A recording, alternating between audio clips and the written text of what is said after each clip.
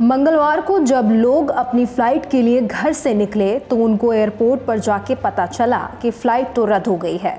बता दें, मंगलवार से लेकर अब तक एयर इंडिया की 90 फ्लाइटें रद्द हो चुकी हैं और इसका कारण है एयर इंडिया एक्सप्रेस में क्रू मेंबर्स का मास्क लीव लेना।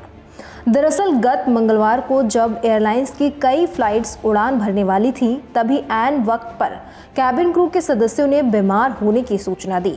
अपने मोबाइल फ़ोन बंद कर लिए। बुधवार को एयरलाइन के सीईओ ने कहा कि पिछली शाम से हमारे सौ से अधिक कैबिन क्रू सहयोगियों ने अपनी निर्धारित उड़ान ड्यूटी से पहले अंतिम समय में बीमार होने की सूचना दी है, जिससे हमारे संचालन में गंभीर समस्या पैदा हो गई, जिसकी वजह से एयरलाइन को पिछले दो दिनों में अपनी 90 से ज़्यादा उड़ानों को रद्द करना पड़ा है।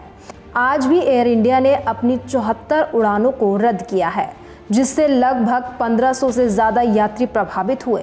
एयरलाइन के सीईओ आलोक सिंह ने कहा कि पूरे नेटवर्क पर इसका असर पड़ा है, जिससे हमें अगले कुछ दिनों में शेड्यूल में कटौती करने के लिए मजबूर होना पड़ा है। वहीं फ्लाइट्स रद्द होने की वजह से डीपीएपी चीफ गुलाम नबी आज़ाद भी नाराज़ हुए। उन्होंने क्या कुछ कहा आप भी सुनिए। मैं भी एक दिन के लिए दिल्ली आया था। जी। और कोई सोशल एंगेजमेंट थी घर तो सुबह जाना था। तो मैं भी अभी तीन चार घंटे अंदर बैठ के वापस जा रहा हूँ और एक और फ़्लाइट से जा रहा हूँ इंडिगो से जा रहा हूँ। मैं वैसे ज़िंदगी में कभी एयर इंडिया से नहीं जाता हूँ। जब सिविल एविएशन मिनिस्टर था तो तब हड़ताल हो गई थी 40 दिन के लिए, और हमने फिर ये प्राइवेट एयरलाइंस लाए थे। तो हम सोच रहे थे कि अब सबक कुछ मिलेगा, लेकिन कोई सबक इनको मिलता नहीं है। और कैंसिल हो गई तो सुबह ही बताना था कैंसिल हो गई। बेवकूफ़ क्यों बनाना सबको? बेचारे हज़ारों लोगों को भी अभी आधे घंटे बाद जाएगी, आधे घंटे बाद जाएगी, आधे, चार घंटे से, और अभी जाएगी नहीं। मुझे नहीं लगता ये जाएगी इसको तो एयर इंडिया को बंद कर देना चाहिए दोबारा। जो ये मर्ज होने की बात हो रही है इंडियन एयर इंडिया और एयर इंडिया एक्सप्रेस को दोनों को। उसको लेकर नाराज़ कोई फ़र्क नहीं पड़े एयर इंडिया का कल्चर ही खराब है बुनियादी। इसका कुछ नहीं बनने वाला। सर सर- मैसेज वगैरह आया था आपके पास कैंसिल हो गई है कोई कोई मैसेज नहीं। सर वन पॉलिटिकल एक साथ इतने सारे क्रू मेंबर्स के छुट्टी पर जाना एक हैरानी की बात है। ऐसा क्यों हुआ? क्या वाकई क्रू मेंबर्स बीमार हुए?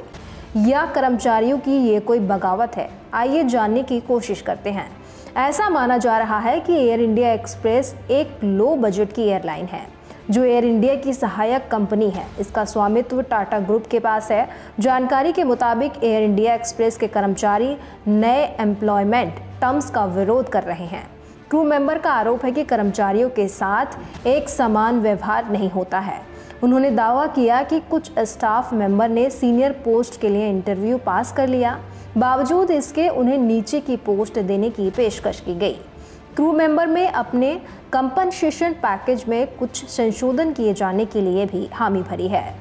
कंपनी और क्रू मेंबर्स के बीच ये विवाद उस वक्त सामने आया, जब airline A I X connect के साथ विलय करने की दिशा में आगे बढ़ रही है। इसी के चलते कैबिन क्रू सदस्यों ने एक तरह से हड़ताल कर दी है। अब एयरलाइन कंपनी ने इस पर सख्त एक्शन लेते हुए सिक लीव पर गए कर्मचारियों को टर्मिनेट करना शुरू कर दिया है और अभी तक करीब करीब 30 वरिष्ठ कर्मचारियों को ये टर्मिनेशन लेटर मिल चुका है। एयर इंडिया ने ऐसे कर्मचारियों को ऑपरेशन डिस्टर्ब करने और नियुक्ति शर्तों का उल्लंघन करने का दोषी मानते हुए ये बर्खास्तगी का नोटिस दिया है।